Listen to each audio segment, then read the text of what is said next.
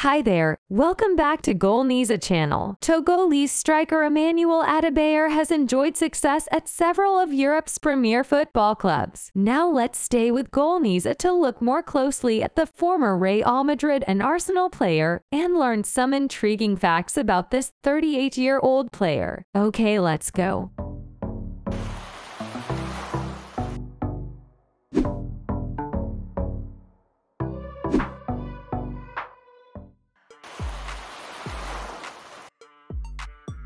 Shadrach Adebayo Emmanuel's father, is from the small village of Ibe in the Odo Odin local government area of Osun State, Nigeria, while Haji Adebayor, Emmanuel's mother, is from the nearby town of Akuza. Sadly, his father passed away in 2005, leaving his mother ill and with a large family. Emmanuel's got three brothers and three sisters. Yabo, one of his sisters, is the one he is closest to. His younger brother's name is Rotimi Adebayor. Lucia Adebayor and Maggie Adebayor are the remaining two sisters. Peter Adebayor was his deceased brother. Emmanuel Adebayor usually keeps his private life private, and much is not known about his wife named Charity Adebayor. He only attends high-profile events, mostly in Europe with her. The couple have a daughter, whom they named Kendra Adebayor. She was born in June 2010.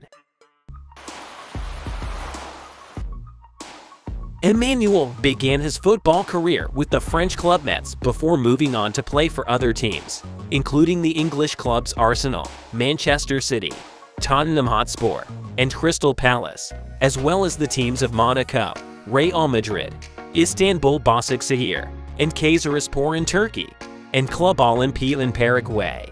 While playing for Arsenal, he was chosen as the African Footballer of the Year for 2008. Later in his career, when he joined Olympiacos on in 2020, he rose to the position of highest paid player in Paraguay. Adebayor represented Togo at the nation's first and only World Cup appearance to date, the 2006 FIFA World Cup in Germany. Adebayor left the Togo national team in January 2010 after being one of the players on the bus that came under gunfire while traveling to the 2010 Africa Cup of Nations in Angola. He joined the Togo team once more in 2013 for the African Cup of Nations in South Africa, where he assisted them in reaching the quarterfinals. With 32 goals, he now holds the record for most goals scored in Togo. As of 2023, his net worth is estimated at $45 million, which mainly comes from his football career. Emmanuel owns several properties in Togo and Ghana. In this video, we're gonna show you the one he is living in the capital of Togo. The mansion was purchased several years ago with a price tag of $3 million. It is located in the affluent section of the Lome City with views of the greenery. The house features six comfortable suites with broad, airy ambiances, wardrobes, digital cylinders on the doors, and controlled shades. The recreation area is unique and features a heated pool, a sports court, a gourmet kitchen, a pool, a ballroom, a game room, and a dry sauna. Imported marble floors can be found in the ballroom and public areas. Additionally, the property has a sentry house and security personnel. Emmanuel Adebayor has collected a lot of fancy cars over the years. As of this video, he has owned 7 cars in his garage. The first car worth mentioning first is the custom Rolls-Royce Phantom 7, which he bought at $460,000.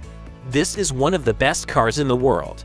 Rolls-Royce has always prioritized building strong, long-lasting automobiles.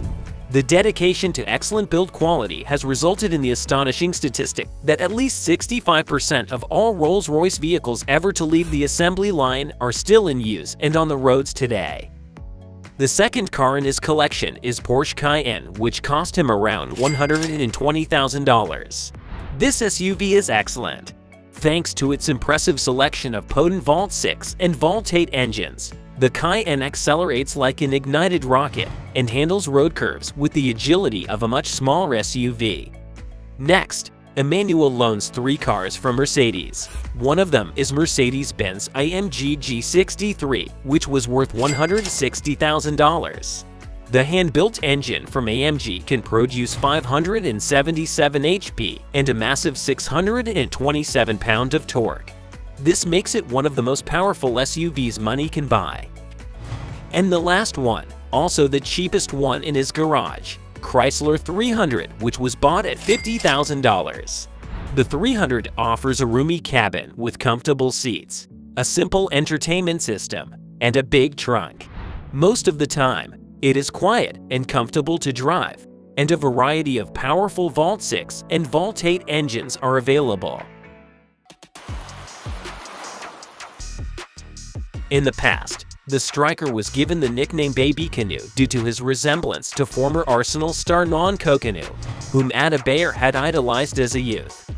The former Arsenal player has had to deal with racist abuse a lot of times in his career, with his goal-scoring exploits often irritating opposition fans who are on occasion resort to the disgusting behavior involving racist chanting and abuse.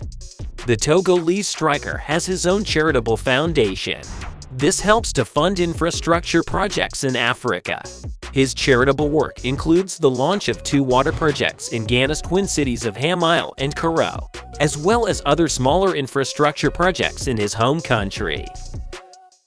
And that's all for our video today. I hope you find it interesting. If you have any questions and recommendations, Leave a comment in the section below. And don't forget to hit the like button and subscribe to our channel. Thanks for watching and see you next time.